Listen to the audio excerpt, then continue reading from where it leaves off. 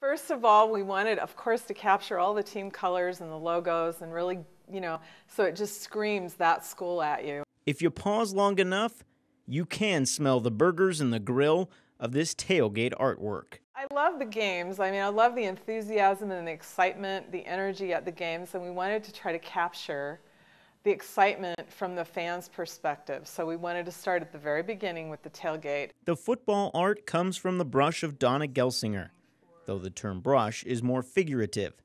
Dona, who has been painting on canvas for years, has traded in the easel for a high tech computer tablet. I had to pump up the highlight on the mascot, on the beaver. It's no different than painting for me. It's the same creative process. For this dive into the fun before a college kickoff, she and her son Jesse used years of football experience and some photo research. This is a long process, and we go through different, uh, what we call thumbnail sketches, where we just sketch out rough ideas.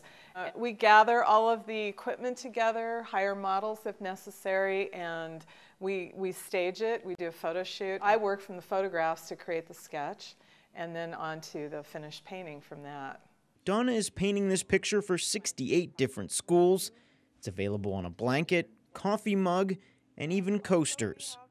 But the blanket waving in the fall breeze best brings out the essence of this art.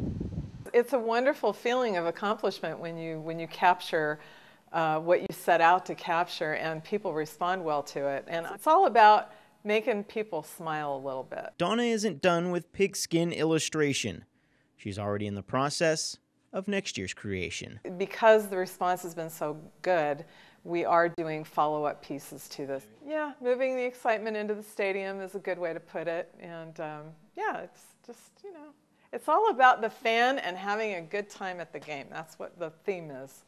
Joe Camerlingi, NBC5 News.